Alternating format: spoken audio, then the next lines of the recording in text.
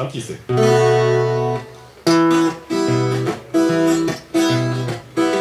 А в люк втекает воздуха вино. И, и бьется синим жилка у виска. Давай-ка, брат, покурим по одной. И вдаль поедем смерть свою искать. Давай-ка, брат, покурим по одной. И вдаль поедем смерть свою искать. Послушаем кузнечиков в траве Оркестр их военно-полевой Пусть погуляет ветер в голове Пока ты целый, трезвый и живой. Пусть погуляет ветер в голове Пока еще ты целый и живой. А впереди неведомая даль В которой растворится моя жизнь. Тридцать четвертый главная деталь. Танкиста закопченный организм Тридцать четвертый главная деталь. Танкиста закопченный организм. А если уж не обойтись без слов Давайте скажем правду о войне. Нам с немцами пускай не повезло. Им с нами не везет еще сильней. Нам с немцами пускай не повезло. Им с нами не везет еще сильней. И машут вслед зеленые вершины И на реке качается вода. Да ты не трусь, железная машина. Тебя в обиду экипаж не даст. Да ты не трусь, железная машина. Тебя в обиду экипаж не даст. Боем. В следующем году главное событие года будет 70 лет Курской битвы.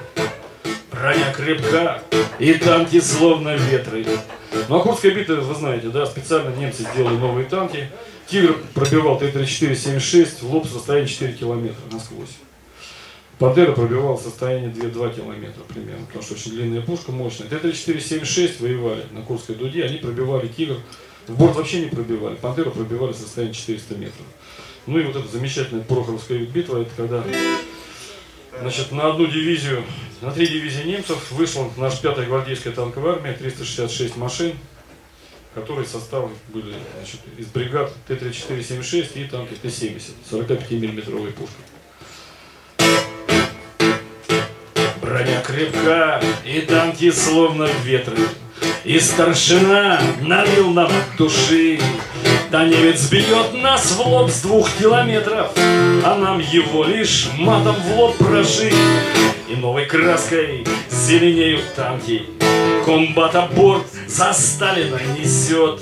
Вот только жаль, от вражеской болванки Нас никакая надпись не спасет. Вы взглядом нас, ребята, проводите, Что прочини, давил на все на сто. Непритый черт, механик наш водитель, Наш Бог-Отец, Бог-Сын и Дух Святой. И чтоб наводчик, дьявол лупоглазый, Давил быстрей свои маховики И по машинам вражеским не мазал Всем героизмом нашим вопреки.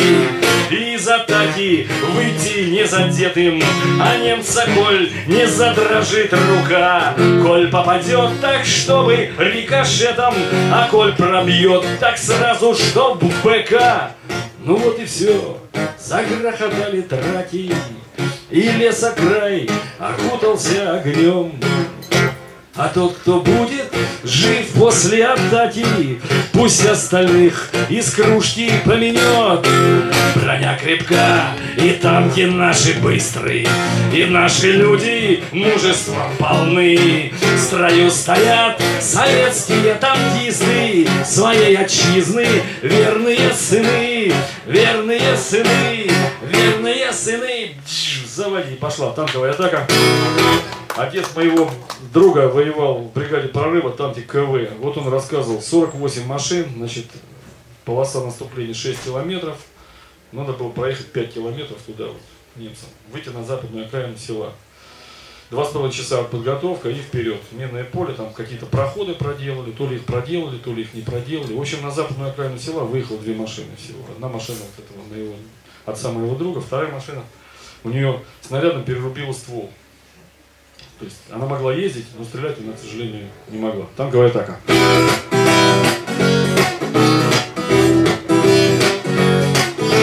Красная ракета! И до пола газ. Мы не видим света, свет не видит нас. В триплексах летает небо и стерня.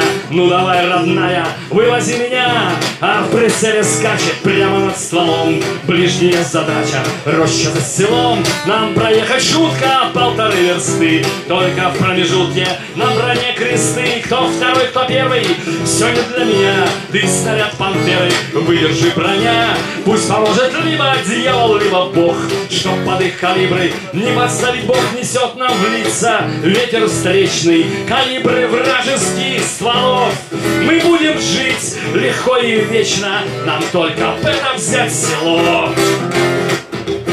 Из-за ближней хаты чей-то длинный ствол. Ну давай, ребята, загаси его. Все равно какой мне там в прицеле зверь? Выстрел бронебойный разберет теперь Хруст немецкой пушки, содранных костей. Цифры на вертушке, счетчик скоростей. Ты давай, зараза, в рычаги играй. Только ногу с газа, брат, не убирай Мы ударения пораставим А скорость смотри разберет. И 30 тонн уральской стали Летит вперед, летит вперед. Трассеры снарядов, огненный клубок Вот кому-то рядом залепили в бок. Полыхнула разом в небеса свеча. Мы за вас, ребята, валим сейчас. Тишина запела Звонами в ушах Но еще летела На броне душа? На небе гуаши Господа купили Вся бригада наша Пять машин теперь. А когда затихой Взрывы и стрельба И горела тихо Ближняя изба А над черной сушью выжженной травы Тихо плыли души Мертвых и живых А в облаках Цветут гуаши А над рекой Полоска ржи. И это поле снова наше И мы с собой смогли дожить. И это поле снова наше И мы с тобой смогли ожить.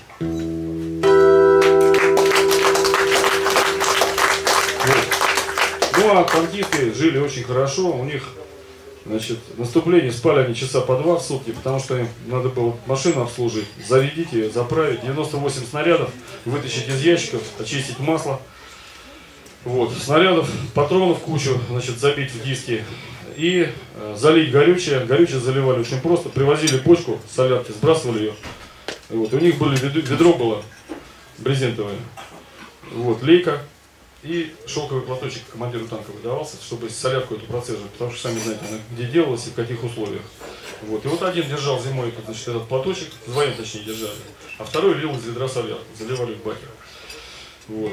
Ну и вот, ну собственно, то есть я когда вот читал эти книги, я понял, что ничего у нас не меняется, как, как, как мы воевали всю жизнь вот в таких условиях. Вот. И, в общем-то, за счет личного героизма выполняли боевые задачи невыполним, несовместимый с человеческой жизнью, да, Николай? Так оно все до сих пор и продолжается. Сейчас в армии, конечно, хорошо, сейчас там тетки, э, значит, моют полы, аутсорсинг это называется, значит, бублики там, йогурты. Чопы охраняют. Чопы их охраняют, да, ну, ладно. Что из этого получится, никто не знает, конечно. Вот, а песня называется, следующая тоже посвящается всем русским людям, которые воевали везде. Обед называется песня, посвящается полковнику Мухину, который служил в Кубинке. Имел рост 158 сантиметров, водил на показах танк ИС-3. У танка ИСа-3 усилие на рычаге было 130, 130 килограммов. А боевое отделение не позволяло людей выше 160 сантиметров туда запихивать. Потому что это величие э, русской танковой мысли, оно сделало это бронированное чудовище вот такого размера. Значит, да. Полковник... Лучший механик воитель это татарин. Полковник, да. Нет, серьезно я говорю, в Афганистане то же самое было. Ребята мощные, но не здоровые. Его авиации, кстати, тоже. Да, кстати, белый тигр вот тоже а вы посмотрите, если там заряжающий, у них был якут, на которого эти самые пороховые газы не действовали. То есть ему пофиг было загазованное боевое отделение. Мы вышли из боя, и сели за стол.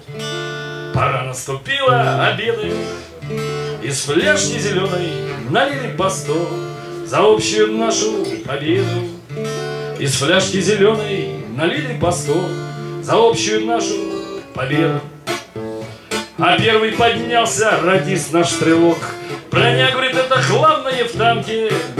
Давай за броню нашу выпьем, браток, Что все отразило болванки. Вторым стал наводчик, вихрастый герой, Рязанский парнишка Василий. За пушку свою нам налил по второй. Она, говорит, наша главная сила. Нелегкое дело, с фашистом война, Но все же, друзья, как хотите, Без дизеля чудики, танку хана, Налил нам Петрович водитель. А наш командир все сидел и молчал, Внимая минутам покоя. И только по кружке тихонько стучал Своей обожженной рукой. И только по кружке тихонько стучал Своей обожженной рукой. И глядя куда-то в туманную даль, Облупил заключительный выстрел. Давайте за главную танка-деталь За наших советских танкистов Давайте за главную танка-деталь За наших советских танкистов По полной за главную танка-деталь За наших советских танкистов Спасибо. Вот. И